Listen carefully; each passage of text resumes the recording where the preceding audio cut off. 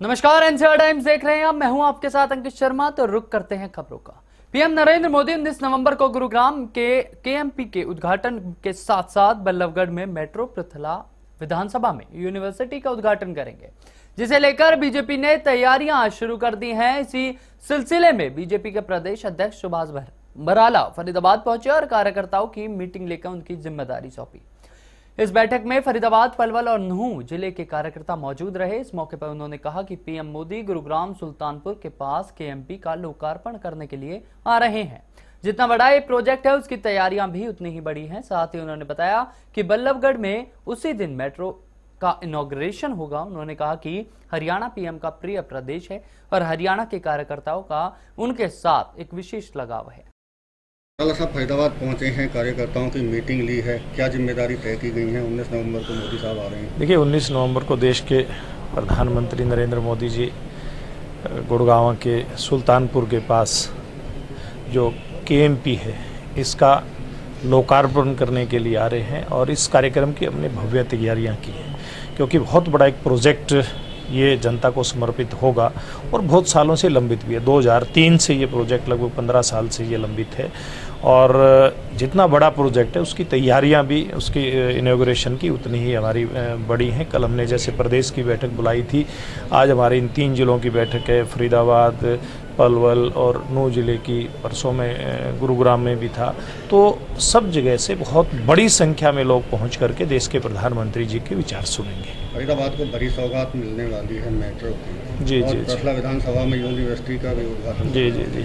ये भी यहाँ के लिए एक बहुत बड़ी सौगात है फरीदाबाद के लिए। उसी दिन इनका भी इनाग्रेशन होगा। फतेहबाद फरीदाबाद के में चाहे मेट्रो के एक्सटेंशन की बात हो या यूनिवर्सिटी की बात हो ये दोनों ही चीज़ें फतेहबाद फरीदाबाद के विकास के अंदर बहुत एक अहम साबित होने वाली है। जनसभाओं को भी संबोधित करेंगे। कितनी भीड़ की उम्मीद कर रहे हैं? देखिए देश के प्रधानमंत्री आते हैं। वो तो विदेश चले जाते हैं तो वहाँ भी लोग हज़ारों लाखों की संख्या में उनको सुनने के लिए आते हैं। और जब हरियाणा आते हैं तो हरियाणा तो उनका प्रिय प्रदेश रहा है। हरियाणा के वो प्रभारी रहे हैं। हरियाणा से उनका एक विशेष लगाव है और हरियाणा के कार्यकर्ताओं का भी उनके साथ एक विशेष लगाव है। इसलिए यहाँ तो वो कोई छोटा कार्यक्रम भी करते हैं तो वो भी बहुत बड़ी जनसभा में परिवर्तित हो जाता है। तो यहाँ लाखों लोग उनको सुनने के लिए पहुँचेंगे तो दो हज़ार उन्नीस के चुनाव को नज़दीक आते देख सभी राजनीतिक दलों ने, नेताओं ने सामाजिक कार्यक्रमों में भाग लेना शुरू कर दिया है, जिसका एक नज़ारा आज पृथला विधानसभा के गाँव मोहना में देखा गया, जहाँ बावन पाल के कार्यक्रम में पहुँचे बसपा नेता मंधीर सिंह मान ने कहा कि ज़िंदगी में कोई धन कमाता है तो कोई जीवन काम आता है। धन तो कोई भी कमा लेता है, मगर जीवन हर कोई नहीं कमा पाता। साथ ही उन्होंने कहा कि हमें अपने धर्म और संस्कृति को बढ़ावा देकर उसकी रक्षा करनी चाहिए। तो बल्लभगढ़ में मेट्रो शुरू होने की, जनता के इंतज़ार की घड़ियाँ खत्म होने लगी हैं। दरअसल आगामी 19 नवंबर को प्रधानमंत्री नरेंद्र मोदी मेट्रो ट्रेन की सौगात बल्लभगढ़ वासियों को देने जा रहे हैं। बल्लभगढ़ में दो मेट्रो स्टेशन संसूरदास और राजा नाहर सिंह बनकर तैयार हो चुके हैं। और आज हुड्डा के मुख्य प्रशासक जी गणेशन ने बल्लभगढ़ के राजा नाहर सिंह मेट्रो स्टेशन का दौरा किया और अधिकारियों के साथ बैठक कर बाकी बचे हुए काम को जल्द पूरा करने के दिशा निर्देश भी दिए। मेट्रो स्टेशन का निरीक्षण करते दिखाई दे रहे गणेश ने बताया कि राजा नाहर सिंह मेट्रो स्टेशन आधुनिक सुविधाओं से युक्त है और 19 नवंबर को प्रधानमंत्री नरेंद्र मोदी गुड़गांव के सुल्तानपुर में बटन दबाकर इसका शुभारंभ करेंगे। इस बैठक में उनके साथ कई विधायक और गणमान्य लोग भी मौजूद रहेंगे। 19 तारीख को आदरणीय प्रधानमंत्री जी इसकी शुरुआत करेंगे सुल्तानपुर गुड़गांव से। और ये बल्लड़ का सबसे बड़ा मेट्रो स्टेशन है, एनसीआर का। जहाँ मॉल्स हैं हॉस्पिटल हैं, होटल है, या दूसरी और दुकान है। और ये मान के चलिए, सबसे यमुना के जी पी के एम पी का जो तमाम जो लोग हैं, वो स्टेशन सबसे नज़दीक है। और इसको लाभ उत्तर प्रदेश, ग्रामीण अंचल या सारे पलवल के लोगों को सबसे ज़्यादा लाभ यहाँ से होने वाला है। और इस शहर का जो बल्लौड का जो इतिहास है एक इतिहास भी रचने जा रहा है। और 19 तारीख को आदरणीय प्रधानमंत्री जी करेंगे और सुबह हम हवन से श्रेष्ठ जो हवन से जो आचार्य हैं उनसे इनसे यज्ञ से चालू करेंगे और उसके बाद जो प्रधानमंत्री का प्रोग्राम है उससे हम प्रोग्राम चालू मेट्रो स्टेशन की क्या खास खास विशेषता है आप? इस मेट्रो में सबसे बड़ी खास बात तो ये कि नाहर सिंह की नगरी में खास बात है कि जो राजा नाहर सिंह जो अठारह के क्रांतिकारी एक तो खास बात ये इस बल्लौड की है। दूसरा ये कि इसमें इसमें होटल भी है इसमें मॉल्स भी है इसमें दूसरी दुकान भी है और सबसे बड़ा सबसे बड़ा स्टेशन है। बस स्टैंड बस स्टैंड नज़दीक है। इसके साथ रेलवे स्टेशन सब 300 मीटर बस स्टैंड है। उसके साथ रेलवे स्टेशन है। उसके साथ बाज़ार है। तो सारी चीज़ नेशनल हाईवे साथ है। तीनों चारों सीट एक साथ हैं। ऐसा देश में कहीं नहीं है। पूरे देश में ना रेलवे साथ हो, बस स्टैंड साथ हो, हाईवे साथ हो, बाज़ार साथ हो, ये चार चीज़ सबसे बड़ी उपलब्धि हैं, जो चारों चीज़ जो मेट्रो के ऊपर 300 मीटर में है। नहीं, जो 19th को जो हमारी न्यू मेट्रो रेल का जो उद्घाटन होना है, उसकी तैयारियों के बारे में एक बार कोऑर्डिनेट करने के लिए यहाँ लोकल एडमिनिस्ट्रेशन के साथ एक आज मीटिंग हुई थी।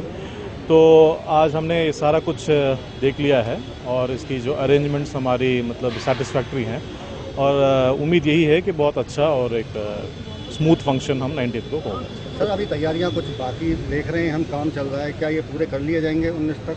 एब्सोल्युटली जी अभी तक जो तैयारी हुई हैं वो बिल्कुल सेटिस्फैक्ट्री हैं और बाकी जो काम है हम 19 तक हम पूरा इसको कर लेंगे जी। नाइनटीन को किस डिग्नेटरी की यहाँ आने की संभावना नहीं अभी कुछ क्लैरिफिकेशन हो रही हैं जी। तो अब जैसे भी हम क्लैरिफाई हो जाएँगे, आपको हम बता देंगे। तो फरीदाबाद, ओबीसी जिला मोर्चा के महामंत्री योगेंद्र उर्फ़ बुद्धा सैनी ने बेटे की शादी की सालगिरह पर चंदावली में माता रानी का जागरण आयोजन करवाया है, जहाँ गाँव के हज़ारों ग्रामीण ने भक्तिगण कार्यक्रम में भाग लिया और फिर भंडारा करके हज़ारों लोगों को प्रसाद भी खिलाया।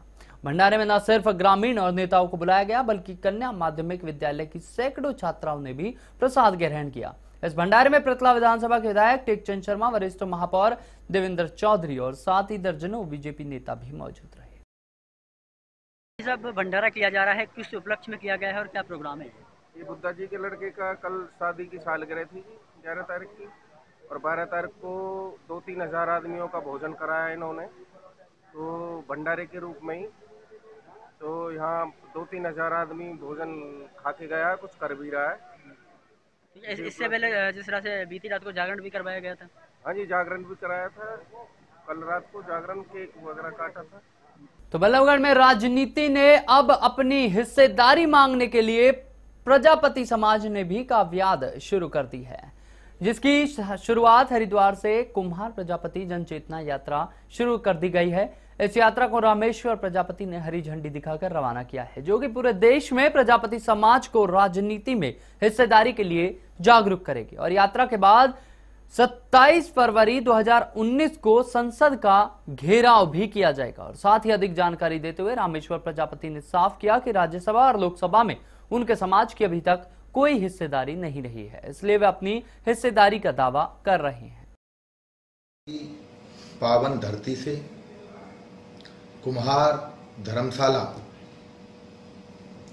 में प्रजापति कुम्हार जन चेतना यात्रा का हमारे समाज के श्री श्री राम मुनि जी महाराज के पावन सानिध्य में माननीय श्री फ्रेराम जी, अशोक जी और समाज के कई सारे बड़े नेताओं ने जिसमें मैं रामेश्वर सिंह प्रजापति, अध्यक्ष प्रजापति महासंघ फरीदाबाद भी शामिल था। हमने आज कुम्हार जन चेतना यात्रा का शुभारंभ किया। तथा यह यात्रा प्रजापति समाज के एक एक आदमियों को एक एक जनमानस को जगाने के लिए कि अब समय आ गया है राजनीति में समाज की भागीदारी प्राप्त करने के लिए। आज की डेट में संसद भवन के अंदर कुम्हार जाति का एक भी सदस्य नहीं है। ना राज्यसभा में, ना लोकसभा में। लेकिन अब 2019 के चुनाव से पहले ये आप यात्रा पूरे देश के कोने कोने से निकलती हुई 27 फरवरी को दिल्ली में संसद भवन का घेराव करेगी और हर हालत में, हर कंडीशन में हम अपने समाज के लिए राजनीति में भागी भागीदारी, राजनीति में हिस्सेदारी प्राप्त करके रहेंगे। पलवल सड़क सुरक्षा को लेकर हरियाणा पुलिस की तरफ़ से आयोजित ब्लॉक लेवल परीक्षा। बता दें कि जिला के अंदर इक्यावन परीक्षार्थी हिस्सा लेंगे। सोमवार को 11 से 12 बजे तक होने वाली यातायात प्रश्नोत्तरी परीक्षा के लिए पुलिस ने पुख्ता प्रबंध किए हैं। डीएसपी विजयपाल ने बताया कि पलवल ब्लॉक की परीक्षा जीवन ज्योति ग्लोबल स्कूल किठवाड़ी होगी तो वहीं इस प्रकार होडल ब्लॉक की परीक्षा Swami Vivekanand senior secondary school Hatin की सेंट जॉन्स पब्लिक स्कूल और हसनपुर की जेवियन स्कूल में होगी। तो पलवल राजपूत समाज के ज़रिए दीपावली, शहीद प्रतिभा और बुज़ुर्ग सम्मान समारोह का आयोजन किया गया। बता दें कि कार्यक्रम का आयोजन महाराणा प्रताप भवन में किया गया, जिसमें जम्मू कश्मीर से पूर्व मंत्री और अखिल भारतीय क्षत्रिय महासभा के संरक्षक ठाकुर गुलचैन सिंह सड़क मुख्य अतिथि के रूप में उपस्थित रहे। साथ ही कार्यक्रम का संचालक अखिल भारतीय क्षत्रिय महासभा के राष्ट्रीय वरिष्ठ उपाध्यक्ष डॉक्टर हरिंद्र पाल राणा ने किया। बता दें कि मुख्य अतिथि ने बुज़ुर्गों और शहीदों के परिवार को शॉल भेंट कर सम्मान किया। उसके खिलाफ युद्ध किया युद्ध किया, सब कहानी आपको पता है। मैं भी उसमें टाइम में बढ़ूँगा कैसे कैसे उनका वध हुआ? लेकिन रणभूमि में आपको बात बताऊँ, शायद आपको पता होगा कि रामायण पढ़ना अच्छी तरह से, बड़े लोगों ने रामायण अपने अपने ढंग से लिखी रणभूमि में जब खड़े थे तो राजा भविष्य उनकी शरण में आके उनके मुँह पड़ गए हे राम, मेरा भाई गलत कर रहा है। इसलिए मेरे भाई को छोड़ दिया मैं आपके साथ? सत्य के साथ हूँ। तो भगवान राम ने कहा, लक्ष्मण, कोई बात नहीं जब लगता हम ये युद्ध जीत लेंगे तो भविष्य को लंका का राज दे देंगे। तो जहाँ बंद खड़े थे अमरीश जी, जहाँ बंद खड़े थे बंद ने कहा, हे राम, आपने क्या कह दिया? आज आपकी शरण में आया। तो आपने कहा कि हम इसको का राजा बना देंगे। तो राम आज रावण आपकी शरण में आ जाएगा। उसको क्या करूँ बलबल में सूदखोरों से तंग आकर 40 वर्षीय व्यापारी श्रवण ने जहर खाकर आत्महत्या कर ली। दरअसल पत्नी ने बताया कि चार साल पहले चार लाख रुपए के कर्ज के रूप में लिए थे और उन्होंने उन्हें पैसे ब्याज सहित भी वापस कर दिए। इसके बावजूद वे लोग उसके पति को परेशान किया करते थे और साथ ही जान से मारने तक की धमकी देते थे। जिससे तंग आकर शवन ने रविवार को जहर खा लिया तो वहीं इस मामले में पुलिस ने शिकायत के आधार पर नौ नामजद लोगों के खिलाफ मामला दर्ज कर जाँच शुरू कर सर एक पॉइजन केस का मामला सामने आया। क्या मामला और किस तरह कार्रवाई पुलिस द्वारा की जाती है? ये कल हमारे पास सूचना मिली थी। गुरु नानक हॉस्पिटल से सरवण सनोर गिरिराज गुप्तागंज पलवल रहने वाला है। इसने कोई अननोन पॉइजन खा लिया। तो रात को इसकी जो है क्यू आर जी हॉस्पिटल में एक्सपायर हो गई। तो वहाँ उसकी घरवाड़ी ने एक कंप्लेंट दी कि जी, मेरा जो है पति, वो जो है कि काफ़ी आदमी थे जो उसको परेशान करते थे। पैसे का लेन देन का मैटर तो हरियाणा के प्रदेश अध्यक्ष सुभाष बराला पलवल के महात्मा गांधी सामुदायिक केंद्र में पार्टी कार्यकर्ताओं की बैठक को संबोधित किया। बता दें कि बीजेपी के प्रदेश अध्यक्ष सुभाष बराला ने कहा कि बीजेपी सरकार ने सत्ता में आकर जन कल्याणकारी योजनाएँ लागू की है। सरकार की योजनाओं के अनुरूप विकास कार्य किए, साथ ही कहा कि केंद्र और प्रदेश में किए गए विकास कार्यों के आधार पर बीजेपी दोबारा से सत्ता में आई। अलग अलग जिलों की बैठकें करके, उस दिन देश के प्रधानमंत्री का भव्य स्वागत किस प्रकार से हो, क्योंकि बहुत बड़ी एक सौगात प्रधानमंत्री जी हरियाणा को देकर के जा रहे हैं। के के अलावा स्किल यूनिवर्सिटी का उस दिन शिलान्यास होगा और जो बल्लभगढ़ तक मेट्रो का विस्तार हुआ है, इसका भी उद्घाटन होगा। तो इसलिए हम इस कार्यक्रम को एक अभूतपूर्व कार्यक्रम है, इसका को बनाना चाहते हैं। तो केंद्र में भी सरकार है और हरियाणा के अंदर भी सरकार है और जिस प्रकार का एक जनता ने हमसे इरादा रखा था, उम्मीद की थी भारतीय जनता पार्टी से, उस प्रकार की सरकार हमारी हम लोग देने में कामयाब हुए हैं और निश्चित रूप में आज जितने काम हमारी सरकारों ने किए हैं, चाहे केंद्र की सरकार है, प्रदेश की सरकार है, उसके कारण से एक नया वातावरण हम लोग देने में कामयाब हुए हैं और एक लोगों को एक नए तरह की सरकार, हरियाणा की बात करें तो मुख्यमंत्री मनोहर लाल जी के नेतृत्व में और देश की बात करें तो मोदी जी के नेतृत्व में हमने देने के, का काम किया है। पहली बार जो परिवारवाद की राजनीति थी, उससे अलग हट करके एक कोई सरकार ऐसी आई है जो आम जन की बात करती है, जो गरीब के कल्याण की बात करती है, और जब गरीब के कल्याण की बात होती है तो भारतीय जनता पार्टी का कार्यकर्ता निश्चित रूप से अपने आप में बहुत खुशी अनुभव करता है। ये इनेलो का जो गृह युद्ध है, ये उनका अपना मसला है, लेकिन एक बात मैं कहना चाहूँगा कि इस प्रकार की जो परिवारवाद की राजनीति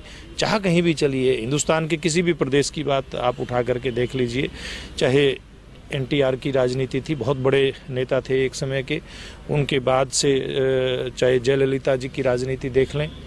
या आंध्र प्रदेश की राजनीति हम देख लें। किसी भी प्रदेश में इस प्रकार की जो परिवार की राजनीति चलती थी अंततो गतवा उसमें इस प्रकार के मामले आते रहते हैं लेकिन इससे ज़्यादा मैं इस मामले पे कुछ कहना नहीं चाहता। तो एक साल बाद जो चुनाव होंगे हरियाणा प्रदेश में विधानसभा के तो क्या भाजपा रिपीट करेगी? देखिए निश्चित रूप से जिस प्रकार का एक परिवर्तन हमारी सरकार ने मुख्यमंत्री मनोहर लाल जी के नेतृत्व में किया है। तो एनसीआर टाइम्स में अभी के लिए बस इतना ही। मुझे दीजिए इजाज़त और बने रहिए हमारे साथ। नमस्कार।